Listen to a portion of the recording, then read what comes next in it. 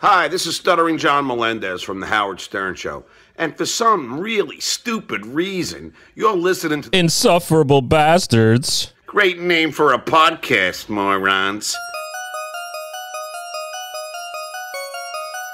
All right, speaking of people you don't want to hang out with, I happened to stumble across this show on YouTube called Insufferable Bastards. Hmm.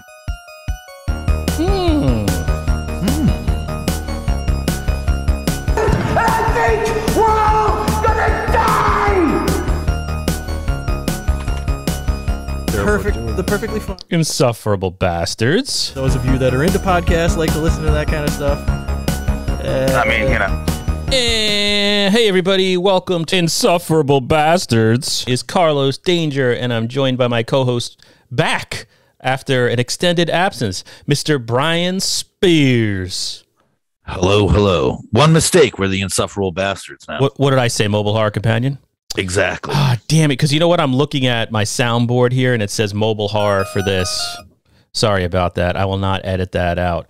But yeah, and then there's so much going on at the beginning there because the reasons we have Stuttering John, right? And then we have Sir John. We have the two most well known Johns probably in North America Stuttering John from the formerly of the Howard Stern Show and Sir John from the Pina Comics Radio Hour. Not the podcast, the Radio Hour. It's very important to say that up front for legal reasons. But so the way we got Stuttering John, it's not like we're buddies, but we did. He did a cameo for us. We paid him like a hundred bucks, something like that, and he did it for when we were known as the Mobile Horror Companion. Hence, every time he says Mobile Horror Companion, I turn down his volume and I say insufferable bastards. And There's now- probably people. Maybe there's one or two people out there wondering why we do that every week. That's why And I don't think nowadays you can do uh promotion. like get yeah promotion. Yeah. Yeah, Cameo changed the rules. You you have to pay like big bucks now, and we have a bunch in the can. They all say Mobile Horror Companion. We got Debbie Rochon, Brian Posehn, aforementioned Stuttering John, but maybe even a couple others. I tried to get Norm Macdonald, but he never he never responded. You you also I think do you have high pitch Eric? I, we, I, I, yeah, High Pitch Eric from Joe. Yeah, from that yeah. that was the original from our former co-host Joe Greenberg. But uh, so this is our first. I, I guess the last one we did was a couple of weeks ago because I did a solo 1883 review last week. And then I think I did the Batman maybe the week before. I don't know, Brian. How, how you been? You've been busy, right? You're, you're working on more. I've been movies. busy. I'm working on stuff. I got a crazy schedule, and between our two schedules, it's hard to to line up. Yeah, and sometimes it's just easier. Like at least in the last month, it's easier just to if I'm around, I have the equipment. I just rip out a, a solo episode, and, and, and sometimes it's easier and quicker to do. Though though more boring, so people have to have to take it. I'm sorry, but also this is the time of year. Like when I get busy, like May is a very. It might as well be May right now, even though it's not even April. For all intents and purposes, it's June 1st in my world. So this is when we. I don't know. I'm not promising anything the next couple of weeks. Okay, John Amenta. I might skip a couple of episodes. I remember once. we also have personal lives. That's the whole other thing. You know you what I saying? mean? Doesn't. I, I feel that's a uh, that's a veiled that's a Oh, sure. subconscious insult of John Amenta saying he doesn't have a personal life. How dare you? Where were you last night? Where was I? Where were you? I was home on the couch. Me too. You know where John Amenta was? Chilling uh, at the uh, Strand Theater in Seymour, Connecticut, watching Godzilla movies. He's got way more of a Uh. personal life than, than than you and I. So I thought we would talk about three subjects real quickly in this here episode of Insufferable Bastards, formerly known as the Mobile Horror Companion, but not known as the Mobile Horror Companion anymore. We're going to talk about first of all, Glass Eye Pix is this independent, truly independent New York City area studio, right? Is that right? A studio? Production guess you would company. Production or- company. Yeah, maybe. yeah, a boutique. Nowadays, you would call them a boutique uh, production company. They have a, a retrospective of sorts. I guess that's a right word for it. They're headed by Larry Fessenden. It's Larry Fessenden's company, right? He's been the creative guy and putting together uh, movies and I guess lining up, working with producers to line up financing for all these independent movies that have really made their mark, I'd say, over the last 10, 15, 20 years. Because you've got a lot. They, they were they were the uh, breeding ground, I guess, or the spawning ground of Ti West. Ti West, who has X out right now. Jim Mickle is doing Sweet Tooth on uh, is it Netflix? So uh, all those guys kind of got their you know had a run at uh, Glass Eye. So it's been interesting. And Brian was in the mix of all that, when all these movies were being filmed, because you worked on on a bunch of them, Brian does special effects makeup, right? It was you, you and Pete Gerner, right? Yep, yep. And I even did a couple movies by myself. But yeah, there was a whole bunch, a whole slew of their movies, starting with I Sell the Dead, that I uh, I was lucky enough to participate in. They're very uh, artistically friendly, a real good group to work with. They're they're smart man's horror. And if anything, now I'm a little angry. Now I get bitter because it seems their movies. I wish they came out now. They were ahead of the time. They, I think they were Yeah. definitely ahead of their time. They were A24 before it was cool to be A24. A24 has way more money than Glass Eye, but Glass Eye never let the money get in the way. And I can't speak of like, you know, they're, you know, I don't, I'm the, the effects guy. I toss blood on set, but I, I do know they genuinely work their asses off to make good movies and however they have to get them done. And just as a, as the, the the white trash part of this uh, podcast, me being Carlos Danger, I did go with Brian one time. I was so excited. It's my one IMDb credit. I still I bring it up once a week to people. Uh, we went to Brooklyn, right? And this was like I had been to Brooklyn a long time ago before Brooklyn was hipster Brooklyn, like when Brook, Brook- Brooklyn was still kind of like Rockaway and far Rockaway, when it was still Yeah. kind of you know a, a, a, a place you, if you weren't from there, you had to be careful because you needed to know where to go and where not to go. Then I went back with Brian, right? And uh, it was the the viewer, right? It The was viewer, was Graham a Reznick. Graham Reznick, who's a sound guy, who does the sound, I believe, on X, the new Ti West Yep. directed Yep. movie. He was directing this short film called The Viewer in 3D. Now, my thing was, I thought it was going to be like Animal House. I'm like, we're heading to Brooklyn, right? What do I know about Brooklyn? It's like this is where uh, Zach Galifianakis uh, hangs out on the street corner, you know, reading poetry and, and smoking doobies and all that good stuff. And I thought it would be like a lost weekend, right? I was like, I don't know if I'm coming home, wife. Not sure. I don't even know if I was married then. It might have been. It was a long time ago. But it was the opposite. Yeah, you sit around a lot, right? Uh, well, not only we there was a hell of a lot of work. Yeah. totally. I had never been really on a movie set. You know, I mean, as a reporter, I like, you know, kind of was, but not really. But to be in there and to see all the hard work, and then how the professionalism of everybody. Everything they, they took care in everything, like every part of that room, everything that was going to be in on camera. I was really impressed, and and I think that that's the whole Glass Eye pix uh, motivation. I think they're really they really care. They care about everything, and probably They- starting they with do. the story. So there was Yeah. nothing. It wasn't like they were just throwing things on or doing like a a cheapy uh, slasher flick. I mean, there's a place for that. But they were these guys were real artists, and uh, it totally took me aback, and I was exhausted by the end of the day, like totally, totally washed out. Uh, and wanting to get out of there really bad, and I remember it was a long day. A It was a long, very long day. a very, physical very long labor. day.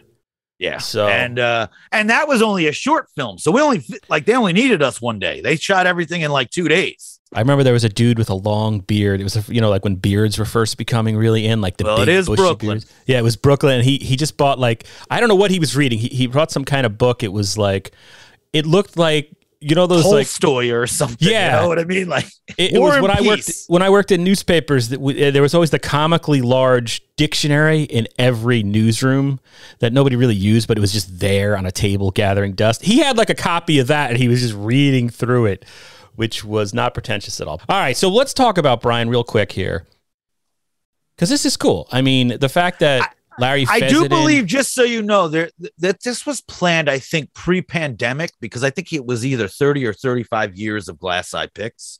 Oh, so I think this was like supposed to be a re- retrospective that they have long wanted to do. And now it's finally coming out just because it's, you know, the environment we're in now is a little bit safer. Yeah. So, oh wow, it starts like we're, we're recording this on March twenty seventh. Yeah, we're putting this out right in Oh, time yeah. for this to come out. and it starts March 30th. The 30th, the first one they're going to show is Depraved, of course, dir- directed by Larry Fessenden. Brian did the the uh, what did you do on that? I want to misstate it. I was like, it's a it's a, a retelling of Frankenstein. So we did the Frankenstein's monster. And so that's at four o'clock, March 30th, and then at seven o'clock, uh, I believe is this Larry's first movie, Larry Fessenden's first movie, Habit, the famous. uh, It's New one York's- of. It's it's probably his second or third, but it's my. I, it's probably one of. If you're a Larry fan, it's kind of the the favorite of Larry's. It's like a another modern telling of like a vampire type like tale. And the parallel story, it's about drug addiction, right? It's kind of about substance drug- abuse, or- what I oh, remember. Yeah, substance abuse, alcohol, that type of thing. Yeah. So that's March 30th. I won't go through the whole list. And then the next day, it, and these are all like, you can go to either Glass Eye Pix on social media. Brian actually posted on the Insufferable Podcast Facebook page. He has the whole calendar laid out there. Or, and this is all at the Museum of Modern Modern Art uh, in New York City, right? That's West 53rd Street. On the 31st, we got River of Grass, which I don't, I'm not familiar with that one. Is that That's uh, another. That's a. Um, I'm going to her Kelly name, Reich- Kelly, Reichardt? yeah, Reichardt? yes, yes, yes. She's a frequent collaborator of uh, Larry's, and then Wendy and Lucy. Oh yeah, I've heard of that. Okay, Yeah, so it's they're doing her two films, and then on April first we got Wendigo and the Last Winter, two more Larry Fessenden movies. Then it looks like is this Saturday? Is April? Yes, Saturday, April second. You got a 1.30 Bitter Feast, which uh, Brian worked on. That's a great movie. A chef who takes a critic hostage, right? From what I Yep, remember, yep, that's yep. a good one. It's, Straight, it's Glass Eye's answer to uh to torture porn back in the day, like when Hostel was coming out. and then Stray Bullets. Uh, that is uh Jack Fessenden, Larry son's movie. oh no, kidding. Okay, did Yeah, you work yeah, on that one little- too? Did you do? I did. I did a couple days on that. My niece actually appears in it. Oh in no, a kidding. couple crowded scenes. She got to hang out with Kevin Corrigan all day, so she was super excited, and she was like a little kid, And then and he was really, really cool with her. That's uh, I Another- think that's the premiere. Another, That's oh, a Jack. okay. That's a Jack Fessenden movie. So that's well. that's pretty cool. And then just I'll just I'll just run through these and, and please go to the uh, MoMA website or Glass Eye Pix, or if those are too challenging, go to the Insufferable Podcast Facebook page and the the whole list is right there. No telling, Beneath, which Brian worked on, House of the Devil, The Innkeepers. Those are the Ti West films. Brian worked on The Innkeepers. Oh, they spelled Innkeepers wrong. Damn you, MoMA. Then Wendy and, and the Lucy. Innkeepers was filmed in Connecticut in uh, the, Yankee Pedlar. The Yankee Pedlar and the now closed Yankee Pedlar Inn way up in Torrington. That was the hotel I had my wedding party stay at. Yes. Uh, when I got married back in the day. And then a couple other, I mean, The Ranger that Brian worked on, Jen Wexler directed. Uh, then uh, going back, I'm going to say this wrong, Automatons? yes. Yeah. And then I Can See You. Unfortunately, that's the Graham Reznick movie. I don't see the viewer on here as one of the. Uh, uh, maybe maybe there's a trailer. Maybe before I Can See You, they'll play uh, my one IMDb credit. And then Friday night. This is a big one. This is uh movies, two movies on, on April 8th that I've mentioned many times in the past uh, of this podcast when we were Mobile Horror Companion and now Insufferable Bastards. At 4 o'clock, Stake Land, directed by Jim Mickle, a great neo neo western vampire flick, I'm going to call it. And then at 6:30, the first movie that Brian did with Glass Eye Pix, I Sell the Dead, directed by Glenn McQuaid, Angus Scrimm. Who else is in that? Their names escaping me. Dominic Monaghan. Ron, Ron Perlman. Ron Perlman. There we go. That's a great movie. I saw that in the theater with Brian at its premiere. I think I don't remember Yep. all of it. We went to the premiere at IFC. So I won't go, you know, and that's pretty much the lineup. And they, they play all month. This is going on from March 30th until April 19th. It closes with the comedy, which is uh, directed Tim by Rick, Heidecker. yeah, directed by uh, Rick Alverson, and that's uh, sort of the uh, the high point of uh, really cringy pseudo comedies. They're funny, but they're not Yeah, kind of yeah, funny. They kind yeah, of uh, that, that kind of introduce the world or the whole concept of what is going on with Danny McBride and, and like the Righteous Yes. Gemstones. It's all it's all that And, kind uh, of comedy. I didn't do much on that, but I do know uh, I did a little wound and a bruise and like very little. But uh, I think Tim Heidecker at the time was a huge. Uh, he's like a Stern fan or was a. I'm not Oh. saying you know, and uh, it, he knew. Uh, I, I guess that I he found out that I did Richard Christie's Halloween makeup, so we had a little quick chat about that. So oh, that that's awesome. cool. That's yeah, awesome. so that was kind of cool. And he's of course from what the uh, Adult Swim. uh, Yep. The the, the, uh, we're from, the name of his Tim and Eric, right? That's Tim right. and Eric. I Yeah, yeah. This is so embarrassing. So, congratulations to you, Brian, for having all those movies playing at MoMA. That is an accomplishment. It is really cool. The only I'm complain about, I have to complain a little bit because Well, it would course. be the insufferable It's- bastards. yeah, right, right. I just wish they were a little bit better in time. Uh, Like four o'clock is really, I have a job. I guess cinephiles don't have jobs. Well, so that's my only, here's my that's my only complaint. I'm gonna put a I'm gonna put the silver lining on here as the uh, as the more positive guy in Insufferable Bastards, right? The uh, These fucking superhero movies. the I'm gonna say that all right. So a lot of the audience for this might be college students, uh, film Yes. students who are now you know School of Visual Arts, NYU, all those whatever else is going on in uh, New York City. I don't know. I'm 48 years old. I live in Derby, Connecticut. I record this in my basement, but maybe this is a way to expose it to uh to the next generation to the younger generation. Yes, to get. I, I agree with you, and I think I'm just more like, oh, I just wish because there's so I don't live, you know, I can't take a subway to the city, so it's it's a little bit I because there's so many of these movies that I I would love to watch with a crowd again. Mm. And, Yeah, but I'm I'm very happy that they're out there. I, I'm very happy they're out there. I mean, the uh, you know, Stake Land, I Sell the Dead, those the, what little career I have, I those two movies mean the world to me in a sense that it it brought me into this Glass Eye family, and I'm really really proud of everything we did on that move those movies. I've been on movies where they talk about the sequel before we filmed first day. And you know, Oh, it's like you can't do that kind of stuff. You know what I mean? And also I had it input. Sometimes, you know, you just show up and you're asked to do this and you do your job. And I have no problem with that. And and the ham and egg in it is exactly right. This at least I had a say. I had input. I had I felt like I was part of the process. Now I'm kind of a cog in the system, which I'm not going to complain about. and which you know, needs I- to happen because these those are Yes. bigger productions. They have to Yes. have a, a, a system in place so things get done. But Glass Eye Pix was more more loose and a little more. I got to be and the yeah. pretentious artist. I got to be a pretentious Yeah, artist. You know what there I'm we trying go. to say? So it was kind of cool. So uh, the other thing I'll add about Glass Eye Pix, I mean, heck, this could be the whole episode. We don't have to go on and talk about anything else. But you know, Brian and I have been to a cajillion horror conventions, and before horror conventions just became about waiting online for Yeah. autographs. There, there was a time where it wasn't about collectibles and spending all this money.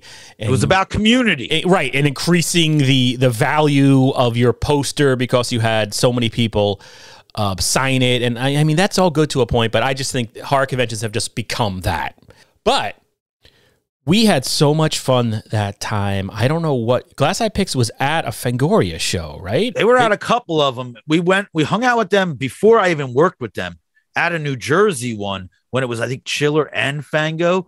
And we, with like ron, perlman, right yeah, Yeah, Ron Perlman and Glenn McQuaid were there, but we kind of like, we knew, well, we definitely knew Ron But Perlman. here's the thing, and maybe I'm talking out of school here. Yeah, because I remember that distinctly because it was 12 p.m. and there was only like two groups of people at the bar. It was Yeah. the people Brian was with, and then Glass Eye Pix. yeah. that was. Then years later, you work with them, and we hung out. It was like we took them back to our room and got them drinks. our room that was, was in like- New York City. We were, it was like What the was that? green room. Our, no, no, Yeah. I think that was Jersey. I think no, it was that yeah, it was Jersey it was again. And we were upstairs. Yeah, yeah, yeah, uh, Fangoria Weekend of Horrors. I think it was. yeah. uh, and that was it was fun. I, I guess they had like there was like a younger producer there who ended up we ended up we had to get carried out. It was just great. oh You yeah, couldn't- oh yeah. you couldn't yeah, ask- We had a lot of fun. you couldn't ask for a better time. So not only these guys, uh, good filmmakers, and Larry Fessenden has launched the career. You know, he's like the A24 Roger Corman. You know what I mean? Like he he, he they they're instead of like starting in terrible movies, they started in really good movies and Well, that's the other to thing. Like more good movies.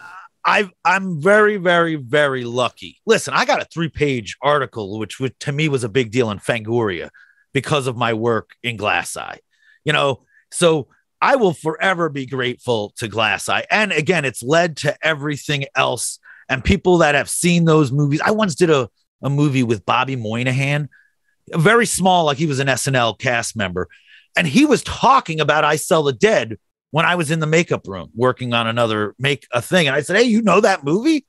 And he's like, Oh, yeah, I just watched it this weekend. And it was Oh no, that's kidding. really cool. So that's like, you know, and again, I've worked with other makeup artists, uh, you know, that have said, like, wow, we really loved your stuff in that, and guys that I admire. Um, so it's been, you know, it's been a very good, it's been very good to me. And Larry, like, uh, I've always felt like family. Yeah, like it's, and I'm really happy. We probably could have got him on. this. Let's call him up. You got his number? We should we should have a guest. Why are we talking about this? Right? Then we could throw it in Johnny Amenta's face, Pina Comics, who has a who has a uh, Patreon by the way, which I support, and you should everybody should too. Go go uh, give uh, two bucks to Pina Comics. They're doing some good stuff. Not as good as this, but all right. So that's that. That's Glass Eye Pix. So the other thing I wanted to touch upon real real quick, Brian, I sent you there's this great article. I was like growing up and you were too, we were fans of like the movie magazines when they were like entertainment Oh, yeah. journalism was a real thing. And they would go on set in like a premiere magazine and maybe they would detail the troubles that a certain movie was having. You know, like there, there was like more I'm access. fascinated. Yeah, I'm fascinated. Like half the bad movies I like are because of how they got made. Bonfire of the Vanities, probably the most Yes. famous. They wrote a whole book, or she, the author, wrote a whole uh, book about it. So you you see that every once in a while, but it's you know now uh, the studios and the stars just have Twitter, social media. They don't need independent journalists to go in there and No. possibly muck stuff up and get the messaging wrong. But every once in a while, you know, like when Paul Schrader invited somebody from the New York Times on to to detail the I, Paul Schrader, by the way, national treasure, best thing on Facebook is, is Also follow him on Facebook. Holy He's cow, the best. the guy. He's so good. He's so good. So he let- Listen, he- you're gonna get offended, but yeah, he's, so good. He's all over the place. Yeah, yeah. He might, you know, you don't know what he's going to post at two in the morning, but it's it's entertaining. Uh, but he invited a, a reporter in for his movie The Canyons with uh, Yep. uh, Lindsay Lohan and James Dean, and that was fascinating. So, the Hollywood Reporter. Let me see if I can bring it up here. On March 24th, I believe it was, published an article called "The Real Mission Impossible: Saying No to Tom Cruise," and it's by Kim Masters and it's a great read. Okay, now you, you see that he- headline. Now it's impossible. This thing is like it's like a freaking two thousand word story, so it's impossible mm-hmm. to get the entire context and and everything that's in the story into one headline.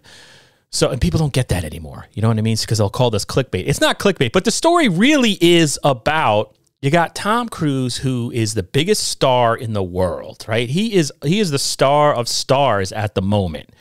He can get a movie made. He can get almost unlimited funds for a movie. and he, you got to say he is Paramount. Like Right, that's the, the company they're talking about now. He's had like a 30 year career with them. Yeah, it's it, it's really fascinating. So the story is about the filming of Mission Impossible Seven, which is just I can't believe there's a Mission Impossible Seven, but it's about how Tom Cruise, sort of the business, right? Tom Cruise, the brand, has collided with COVID because the movie's been delayed something like seven times because of I think COVID. eight times. I think eight So- times it said in the article. like an incredible yeah and Yes. then you've got since oh sorry that's a sound from my computer sorry about that my screen time was up 43% last week so you got tom cruise the brand colliding with covid and then those two things are colliding with the fact that since covid began i mean this movie sort of coincides with the beginning of, of, of covid and the pandemic the whole business model has essentially changed where you've had this incredible push the sea change to streaming Yes, they want this to. I think the big controversy is they want the movie would be in theaters for 45 days. And Tom Cruise, he has a contract that says no, no, no, three months no, minimum. no, three months minimum. So he's lawyered up according to the article, and there's all this. Uh, then you have the fact that, uh, according to the article, and this is clearly people who are pissed off at Tom Cruise speaking about this because this they're like the sources. They're saying, look, Tom Cruise and Christopher McQuarrie, director of The Great Way of the Gun, right, the underrated uh, uh, classic shoot 'em up they're basically running wild to a certain extent. They're, they they have this thing where they're filming Mission Impossible Seven, but sort of contractually they did this move where they started filming Mission Impossible Eight, Eight. so yeah. they can't be stopped. So the studio, you know, the suits are obviously it's old school, tearing their hair out, and, and you know, And and I think in the article it says, which is hilarious, that seven was pretty much wrapped, but now they're adding a whole new scene in like- seven that should have been in eight. we need submarines. Yeah, they did this whole sequence. They brought in a submarine. So eh, yeah, the, I think the budget for seven is, is up to like three hundred million dollars. So I mean, it's it's it's entertaining to read about, but it's also just a fascinating look at the way uh, movies And are can I just say now. one thing? One thing is, I believe they mentioned a guy, Brian Robbins. He is now in charge of Paramount or high up in Paramount. Brian Robbins if it's the same Brian Robbins, and he does say he had Nickelodeon credits and he was a, a TV star, he was in Head of the Class, and he's director of Varsity Blues. Oh, why And- did he? and- okay. And not not uh, what was Good Burger? He directed Good Burger. Oh, sure. That's another Nickelodeon. Yeah, they do mention Yeah. in this article that he has this thing where he got the blue, uh, not the Blues Clues, Paw Patrol, which is Pa- a Nickel, Paw Patrol. He got the Paw Patrol movie made, and he put that on Paramount Plus because the animated uh, actors wouldn't talk back to him like Tom Cruise does. So it's just fascinating because just just the fact that on the filming of this one movie has taken so long, the business model has changed underneath it, and Tom Cruise is like, "Oh, wait a second! It's just it's a really good article, and I highly recommend it." And they bring up the fact, you know, COVID plays a major part. You know, this was in the beginning of COVID where there was the leaked argument with uh, Cruise yelling at the crew, Mm. which at the time he was like, hey, go. Everyone was for Tom Cruise because, hey, we want to make movies. This is giving everyone a job. But it also says like they just chased different countries that would let them kind of like be lax on the protocol rules. They yeah, they were getting all these exemptions because they were bringing Yeah. in all this tax dollars, and they yeah, they were totally like, and it also kind of says, you know, unconfirmed, but still like that maybe they him and Quarry both got COVID, but never admitted to COVID. Maybe they weren't vaccinated at the time. Like there's all this like There's a little bit of conspiracy. There's some gray there. areas, and Cruise allegedly had some other type of medical ailment going on early, and that then the, oh, then the whole thing is okay. So this the, the the studio is trying desperately to get this mega movie done, and but COVID hits, and it's something no one's ever experienced, so it's shut down. They're going to another country, shut down again. This guy's got COVID. Tom Cruise's family apparently has COVID at one point. The director's hospitalized with COVID at one point. Insurance company, no, we're not paying for any of that. So there's a we're not paying. lawsuit. I mean, God, the money. I mean, I you know, I don't know. It's just fascinating to see this push to stream streaming happening so quickly. I think much uh, faster than anybody would would have anticipated, and just the amount of money involved. Like this is something that could bring down a studio. I mean, Can I go? Yeah. I know everyone loves movie theaters, but there was that time where like movies, you know, you paid a little extra, but you could get them at home. And now that like even the 40 uh, now it's hard for me to wait 45 days because I'm like, oh come on, I wish I would watch Batman right now if I could watch. I'd pay 20 bucks if I could watch it at home. I'm gonna let you get in on something. The other day with my nephew, I rented because he was dying to see it, the new Spider-Man. And I Let me just interrupt you. That's the best. That's according to everybody. That's the best movie of 2021. Oh my God, they're so. Are, are they all eight, nine year olds in fourth grade? Because holy crap, I will say this. I I will say not to interrupt the, this flow of conversation, but I I won't say I hated the movie because I watched it with somebody that was so excited and was talking to me that must have been on YouTube and was like, "Wait till you see this thing." Like the his exuberance brought me into the movie, but it's a piece. You know, come on, man. Come on, man. But wait, wait. It's- but Brian, there, uh, there's three Spider Men in the movie. It's from the guy from that Spider Man, and then the guy nobody liked don't as know. Spider Man. It made no sense. And you know what? There was that cartoon, the the Morales, the Mike, uh, you know, whatever the into the Spider Verse. Oh yeah, Miles Morales. Yeah, that, that, was movie good. was great. That, That was, was good. great. yeah. This just rips that off. It just doesn't do it as well. That's And, what I don't get know, either. That's what I don't get when everybody when the spoilers were coming out and they're like, "Oh my god, the Spider Man are together." I'm like, "Wasn't that in that movie?" Because I saw that in the theater too, and it was the same type of thing. And I totally get what you mean about how kids' exuberance can get you into that. And Oh, it's just scary though. I guess that's happening to grown men as well, though. Grown men But that's watching what's the same there. I- videos Like, listen, when as I, an eight year olds. I know we got, you know, in some trouble in the past, like, because I think this was even on a couple guys when we asked for top 10 lists or their top movies of the year. And this might have been on one or two of the lists that we got when we did the best of. Yeah. Dude, it is not a best of movie. Anyone that says that, I don't know. Get your eyes checked. I listen, Your a taste super- sucks. Oh, it's a superhero movie. I get it. It's like, no- oh, it's a superhero movie. I get the nostalgic. I get some of it, but it's a kids movie. Well, I- yeah, that brings me to a whole other thing because, like, my kid has started to watch. My son, he's eleven. He's starting to watch, and it sounds maybe Rock is doing the same thing.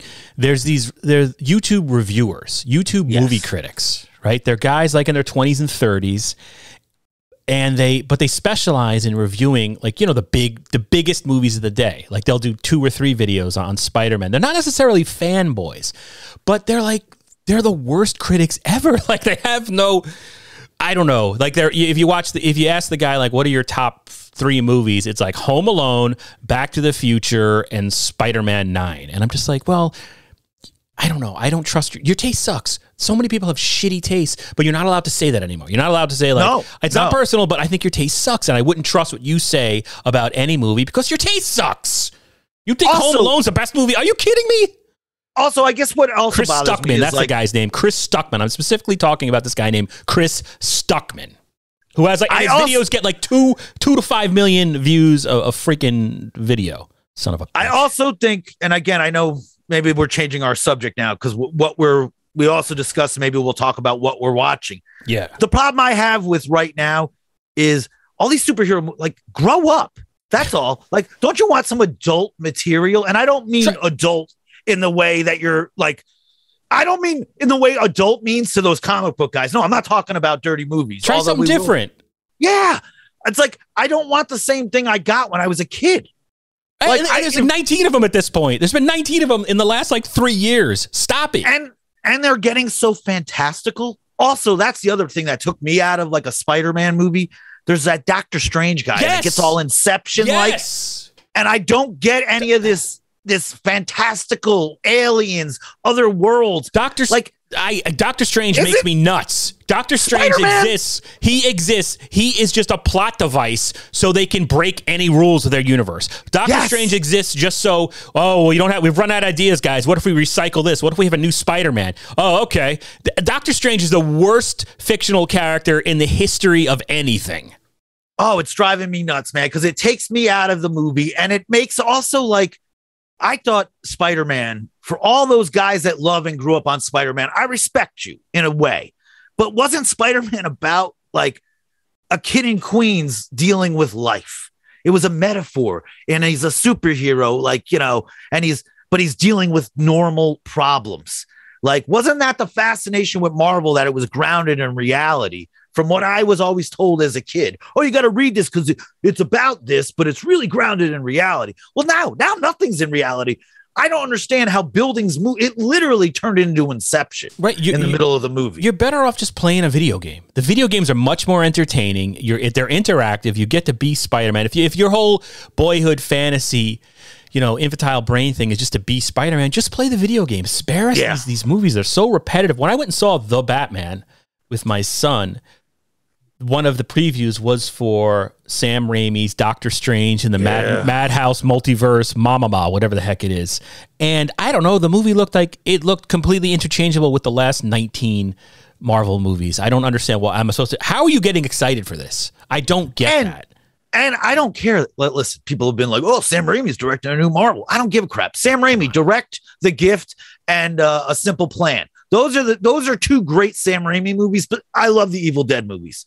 Yeah. But I don't need to see him make a friggin' Marvel movie. ag- You know, like it's not like you don't have any say in anything. It's all a committee, anyways. right. I That's the problem with Marvel. They're com- like, or Right. any. I'm not just saying Marvel. I'm saying all these IP movies. I don't want to just because I want to say Star Wars. I want to say DC.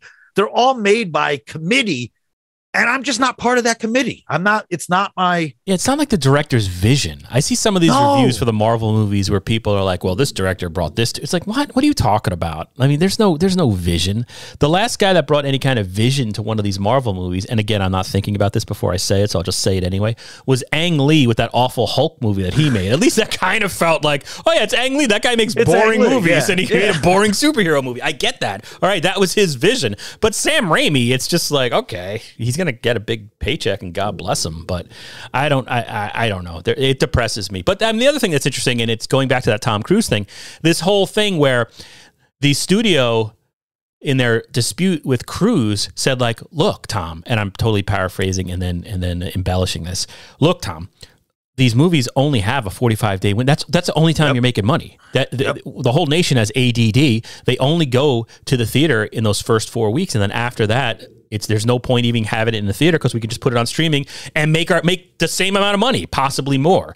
And that's what I mean by the whole the, the way the whole the whole thing has changed. Because yeah, I mean that's the whole thing now. It's uh, the only thing that's going to be left in theaters, and clearly it's just these big these big Spider-Man movies. That's you, you know you get you put that out. We all we all we all can pay attention for four weeks, and then you got to give us Avengers 19 and then you got to give us black widow four weeks later and that's it it's just like one movie per month that's all we can handle so streaming more and more uh, is the way so There is no longer that summer movie that comes out in May, the end of May, and lasts all summer that you can't wait to see. There's Right. not. It just doesn't exist Oh, anymore. or the or like the the late one that they kind of dump because they're not in August that they're not really sure about Yeah. because sometimes you get some gems out of that you know you get like a state of grace you know or even a Goodfellas A was sort of Goodfellas, yeah. released like that but those those are like that's done that's going That's done. Those those movies.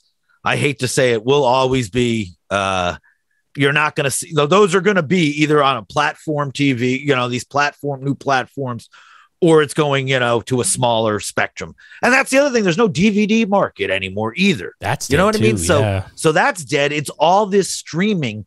So you're you're at the mercy of when they put things out and who puts it out. You know what we should do is uh, ask Bill Burr for a comment These fucking superhero movies. How many fucking more can they do? Yeah, thank you. I forgot to do that at the beginning of our We Hate Marvel segment.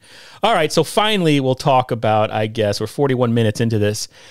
Let's talk about what we've been watching uh, lately. But let me, I just have some random clips. here. I don't even know what this is. Hey, mister, do you want some dope? Sir, I said dope. Do you want any? you have elephant? Huh? You have Ming toy dog? Huh? I guess you don't. That was the great Charles Bronson being uh, offered drugs by a street salesman uh, in some South American country in 1984. Evil that men do. All right, so I'll just say we talked about this a couple of weeks ago. I was a little eh on it. You were more gung ho about it, but now I've been converted to your stance.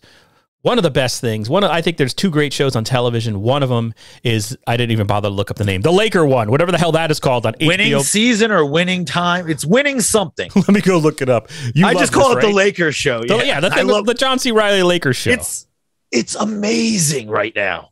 And you don't need to know anything really about basketball.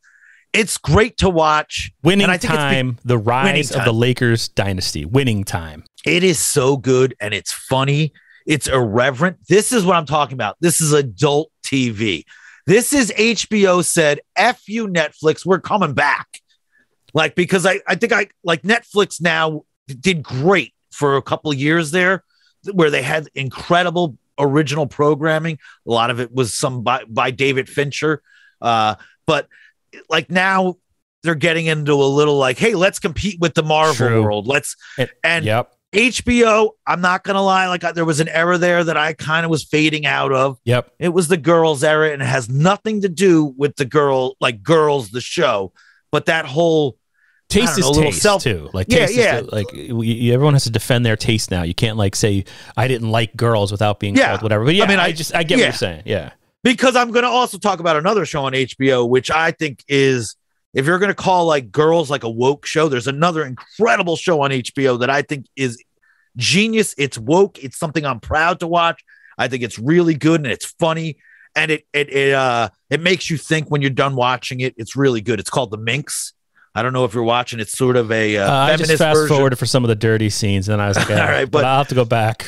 I think it's hilarious. I think it's really good. I also think I'm I'm I'm hungry for this adult content. You know, I'm like, And again, we should for, we should we should point out the Minx is is is adult in, in several ways because it's all in it's several ways. A, oh yeah, a men's magazine, like uh, Yes, and there's a- sort of. I, I will not lie. There's a lot of man junk. So if you have an issue with that, That's the whole Sam trend. Elliott, That's you're not trend. gonna you're not gonna dig it. But it's a very well written show, and I think that's what's smart, and that's exactly what this Lakers show. They're both they're all well written. It all starts with the story and the characters that you care about. Yeah, the the Lakers show. Wait, what's it called? Winning. Is that what it's Winning called? Winning. Winning time. Winning- Winning time. winning time. Why didn't they call it Showtime? It would be like because everybody remembers the Yeah. show. I mean, at least I do because we were kids. So I mean, the Lakers were a big deal in the eighties. That's when we were watching. Last time I watched sports, but yeah, it propels you, man. Like at, at first, I was a little off put by they're constantly breaking the fourth wall and looking to the camera, but that I've gotten used to that.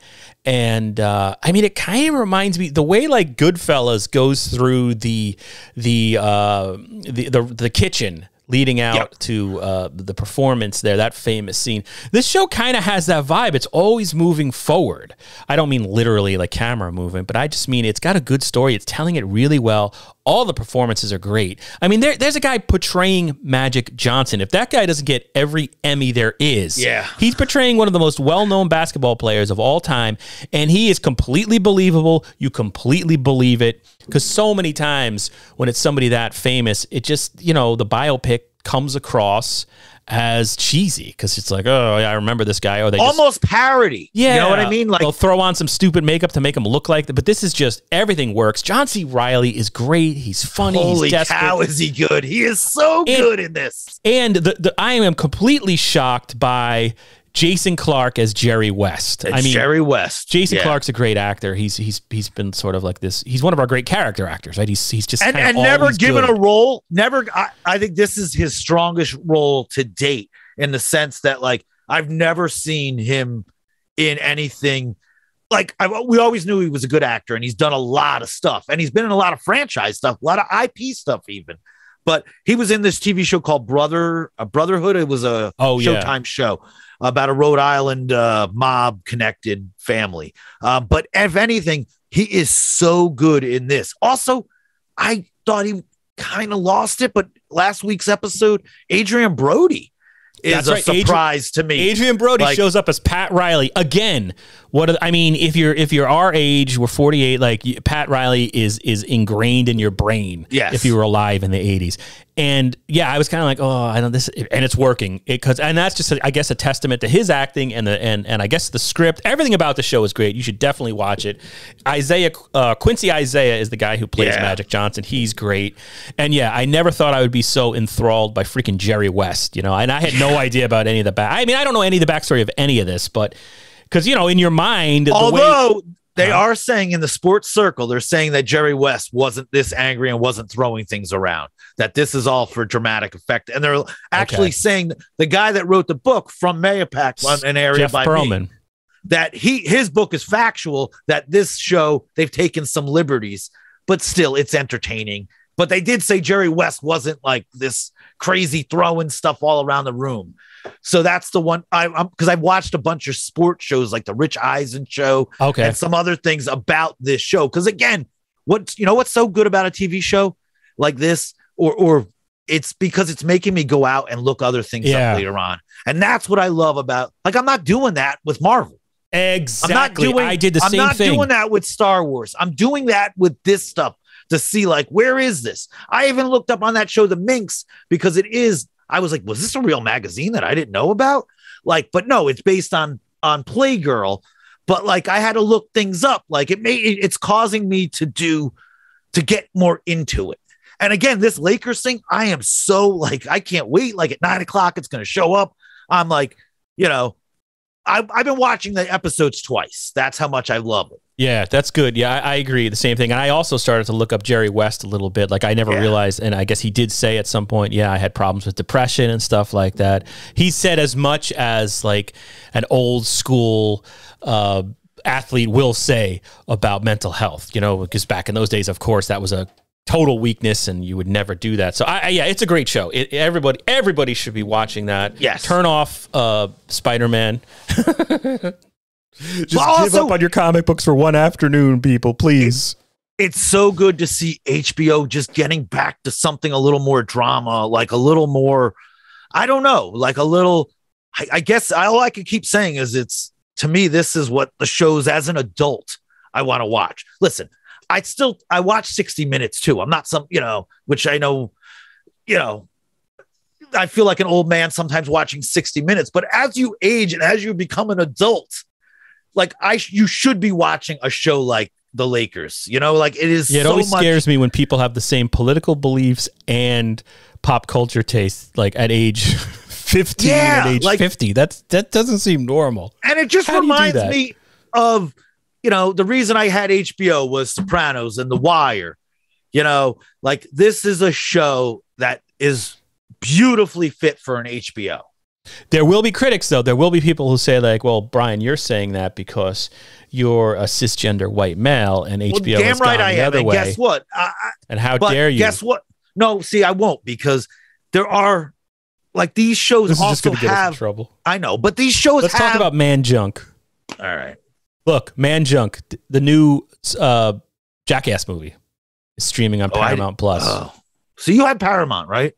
I do because yeah, it's a long story, but that's how I get my one local news channel here Okay, in because. I, I guess I got, I'm gonna have to sell out and get that. I think. nah, it's probably not worth it, but they do have but the, new- offer's coming up, and I I really want to see that. They they do have uh, the latest Jackass on there, which I watched. Which I, I'll s- there there's there are some parts where I was laughing out loud. It was just there's one there's one skit thing where they put the guys uh, in a room. They think a snake is in the room. They turn off the lights, and it's it's very it's well, it's among the funniest Okay. things they've ever done. It's just funny. It's Three Stooges funny, but there's also like man, there's a lot of man junk. and There's a lot of jokes that center around penises, like just nonstop. And It's- after a while, I'm like, this is really gross. It's 2022, man. It is the year of man junk because again, every I'm show I'm watching, that.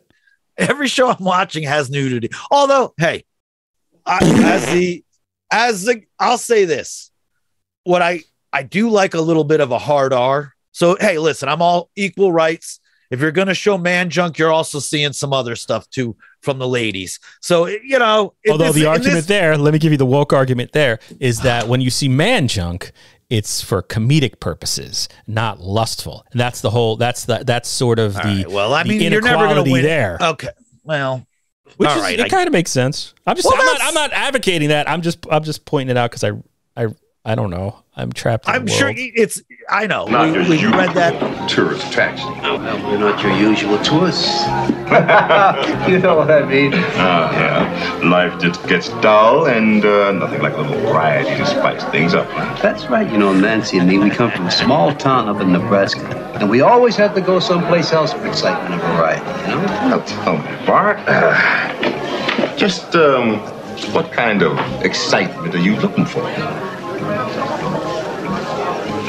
You know, me and Nancy, we've been into a lot of things. We've learned tricks you wouldn't believe. We've been into things like wife swapping and. You married? No, I'm divorced. But remember, three's company and four is definitely a crowd. Man, I am down for anything or anybody. Three's Charles always- Bronson, the swinger. All right me. You got Yeah, so that was Charles Bronson being uh, actually he was propositioning uh, another man uh, for a, a threesome with his uh, his wife in The Evil That Men Do, 1984. Probably should have won Best Picture. Uh, I guess this is definitely the perverted episode of Insufferable Bastards. It's finally here. Because the other thing I watched, Brian, this week on Hulu was Benedetta, the new Benedetta. Paul Verhoeven movie. The famous, I believe he's a Dutch filmmaker. He made RoboCop uh, back in the day, Starship Troopers back in the day, and a lot of other movies. Showgirls. Total Recall, Showgirls, yes. And now he's made a movie about a nun. I'll give you the plot. I'll try to go through it quickly. I didn't write any of this down. All right, so this uh, little girl gets put into the nunnery. I don't know if that's actually what they call it uh, by her father because they believe Jesus speaks to her directly. Right. So the movie's sort of about, well, is Jesus speaking to her or is she sort of a fraud? You know, because she has the stigmata at one point and uh, Okay. on her hands. But it's like, wait, did she cut herself? Or like, there's this whole sort of debate in the movie as to whether she's a fraud or whether she's genuine. Uh, and then she has, as she grows, she grows uh, older, obviously, into a young woman. She has an affair with a girl who was brought in, like a peasant girl who was just kind of. Her father's gonna. Her father's molesting her. The whole family's molesting her, and the and the nunneries, the nuns take her in. So they have they have this fair, this explicit and sort of uh, sort of uh, in your face. The whole movie, I'll say that th- this whole movie is in your face. Okay. Uh, and meanwhile, uh, the plague is circulating outside the walls of this thing, and there's conflict between the nun Benedetta, her name is, I believe, who may be talking to Jesus, and then the uh, you know the head mother, the whatever that is, the Mother Superior. Mother Superior from the Blues Brothers. So you have all that kind of conflict. So it's it's batshit crazy. I mean, I don't know anybody. You know, it reminded me, and I put this on Twitter. It reminded me of like when Joe Bob Briggs back in the day would host on the movie channel his Joe, you know, the drive-in that he did originally on that, or Cinemax when they would suddenly put on, they would throw in like one week it would be Hard Ticket to Hawaii on Cinemax, and then the next week it would be like a random Kurt, Kurt, uh, not what's his name, uh, Ken Russell. Okay. So it sort of has that sort of cheesy. It's it's you know it's softcore pornography, but it's it's art. It's somehow It's art, yeah. So I, I felt a little perverted watching it. So anyway, that's the my- erotic is it the erotic thriller now? It's you know well, it's not. There's nothing really thrilling or particularly erotic about it. It's just Paul Verhoeven. He's just a weird dude, and it's a weird. because. I watched. All right, here we go. Adri- I watched the Adrian Lyne erotic thriller on Hulu, uh, with Ben Affleck. Deep Deep Water, I think it is, or yeah. Wait, Deep- I thought that's about the oil oil rig. no, right, is- then it's not Deep Water. It's Deep something, Deep Place. I don't. I don't even know. It was. I'm to look it up new as you try. I know what you're talking about. You know, it. It was anti. It was a horrible. Oh, movie. you're right. It is Oh deep water. Yeah. It's so not erotic, not a thriller, like a really bad movie. And this is who? Also Adrian just- Lyne, right? He came back. Adrian Lyne from uh, you know, the uh, nine and a half weeks and uh the Godfather and of Fatal Attraction. crappy erotic thrillers. Yeah. Yeah, and I don't know, like I guess Ben Affleck is a billionaire ish, millionaire ish guy who who invented uh, the chip that does uh, drone drone uh you know Is the- that at uh, all necessary to the plot? Well, I guess because he's a billion, you know, like Okay, he's, that's- he's a- just- okay. retired, and he has a hot young wife who is Ana de Armas or something like that? I have no, yes, no idea yes, what that is. yes. I did a movie with her, like one of her first American movies. Um, no kidding. but yeah, and it was rated as like one of the worst movies of the year. It also starred Keanu Reeves, which I took as a highlight. Like, yes, Hell yeah. the director took his name off the movie. It was so cool. Um, but anyways, it's like she they she openly cheats on him. You know, it's uh, but it's weird. Like he knows and like, but he's jealous. I I don't know. There's characters like what's that guy? Rel. Uh, he's a comedian. He was in uh, bad the the the the the Eric oh, Andre. Oh, movie. oh, oh, uh, yeah. Lil Rel Howery. Little Rel, yeah, he's like a, but he's in the movie as like his best friend, but only in the movie in like one scene. There's another actor, uh, uh, Mish Took or Mish brought Da- Da- Dana, like he's a redheaded guy. Dash in, uh, Mihok. Da- oh, yes. from oh yeah, Yeah. he's been in everything. yeah, He like looks familiar. he's in the Thin Red Line. Um, but they're like his best friends, but they're only in one scene. Um, then there's a bunch of boyfriends that you know. did I'm looking at this cast. It's like Dude, the whole. but it's it's crazy. It makes no sense. It's not sexy. It's not even a good mystery because it's all, as far as I know, right there in front of you. Like I have so many questions. There's a little daughter. The movie ends with the little daughter singing a song in the backseat of a car, which I'm like, what the hell does this even have to do with the freaking movie? I don't know. From what I heard, was this movie kind of like, I think it was definitely got pulled from theatrical and then it just dumped on Hulu. But there's a reason it's dumped. I I I would like one somebody in our audience, mainly probably please Shane, will you watch this movie? Because he seems to be the and, and tell me what it means and tell me what I missed. It is horrible. Shane's and watching. I, we should have had Shane on here because he's watching a ton of movies. Like in terms of what we're watching. Yeah, yeah. Shane, and also, Shane French is a artist friend of ours who's been on the podcast once or twice before. what about um what was it gone girl ben affleck did his erotic thriller gone Dude. girl which i think is an incredible david fincher movie Ben Like Affleck this- is is getting he's getting dangerously close to becoming you know the Bruce Willis. Just he's, he's got another couple of years, and then it's going to be Ben Affleck it's bruce willis as, a lineman. Travolta. You know, like he changing electrical highs. things. oh god it's it's it, dude it's so bad and again even the eroticism isn't like it's a very tame eroticism You know, like It, it, it- just getting back to that guy, Lil. What's his name? Little little uh, rel Yeah, Little he, Rel. he's carving out a real interesting career. It seems like he's doing so many movies, he doesn't have time to finish one movie because he's in Free Guy, the most underwritten performance where he's Ryan Reynolds' buddy in the in the video game world, but he's barely a character. It seems like they had another one of these things where we had like we have one day with this dude, then he's got to go do a Ben Affleck thriller, and then after that he's going to be a, a seventh billed in a Judd Apatow movie. So I don't know. and like when i say it's all evidence I- of the Illuminati. According to Twitter, I'm totally getting sucked in by the conspiracy theorists on uh, the uh, uh, insufferable bastard Twitter feed, where uh, Zendaya is part of the Illuminati. They're just they're just forcing Lil Rel and Zendaya on us. They just came out of nowhere, and now they're everywhere. You can't escape them. oh, i would really oh zendaya bugs me Yeah, I don't. I yeah.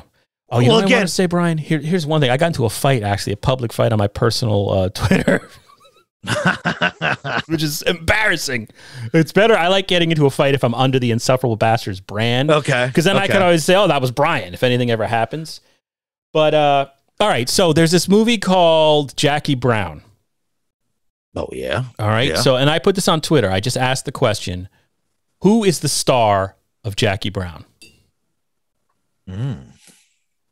Well, you want me to answer it? Yeah. Well, who, just in your opinion. Yeah. If I asked you that question, which I just did, who would you say? Oh, well, I'd say Pam Grier. Pam Grier. What if you had a if you had okay Pam? You can't say Pam Grier. Who would you say right, after that? Robert Forster. Robert Forrester. How about after that? No, you can't. You can't say who's the star of Jackie Brown. You can't say Pam Grier or Robert Forster. And then I'll then I'll go into my fight. Uh, Sam Jackson. Yeah. Okay. So there was this headline the other day. I got to find it. It was from uh, the playlist, which has become like just a sort of. I mean, they must be struggling for money because all their posts now, the playlist is just uh, here's the ending of the Mist explained. If you didn't get the Mist ending, here it is explained in this Oh yeah. clickbaity. Yeah, they're just kind of circling the drain. It used to be kind of a good site, but they had a headline. I'm not going to be able to find it now because they just post so much.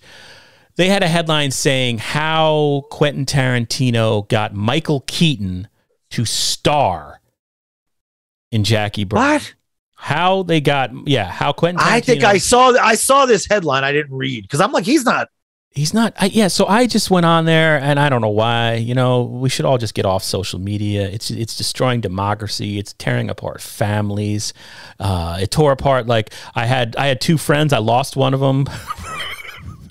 Primarily because of social media, but I put in the comment thread. I just put the word. I ju- oh here it is. I finally found it. I just said star with a question mark. The headline was how Quentin Quentin Tarantino convinced Michael Keaton to star in Jackie Brown. And He's in two scenes. well, yeah, Maybe three.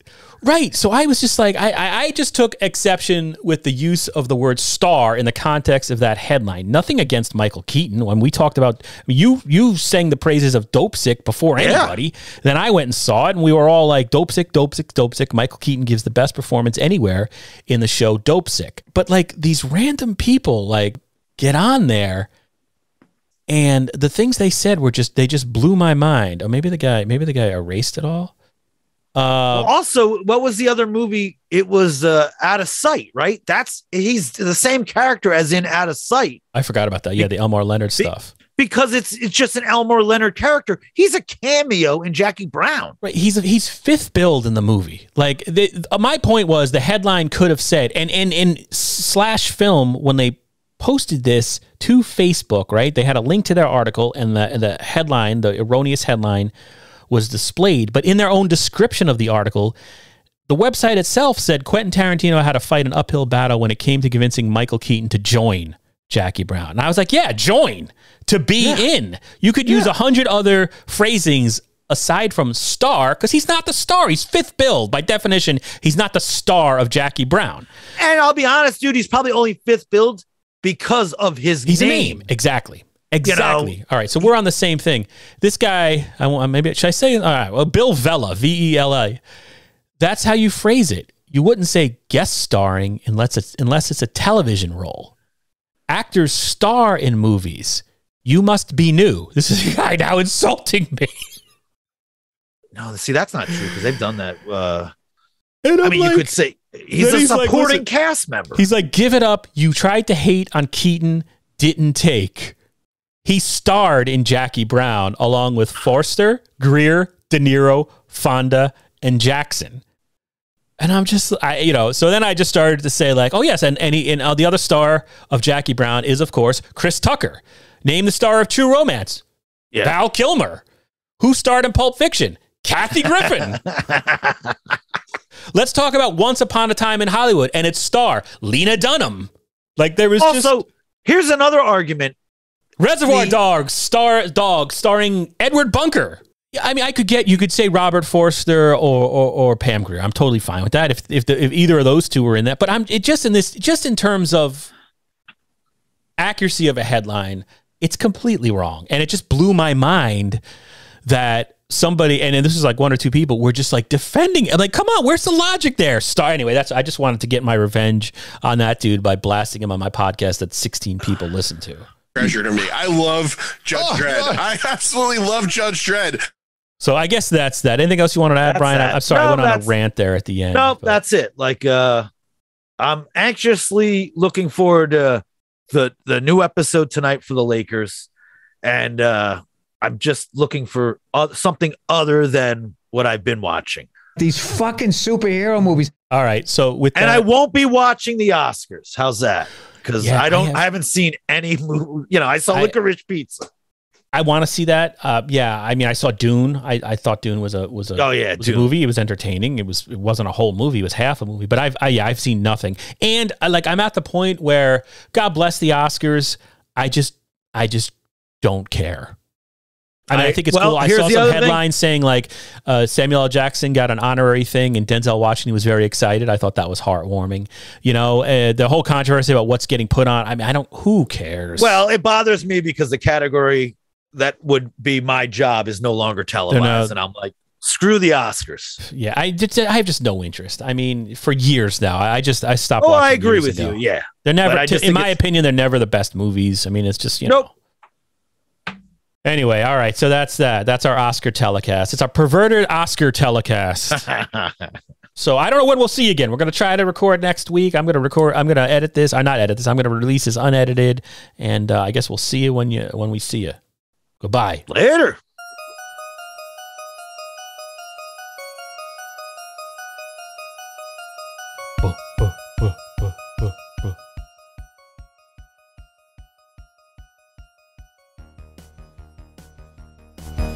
Treasure to me. I love Judge Oh, Dredd. God. I absolutely love Judge Dredd. I meant to play the fart actually, but I messed up.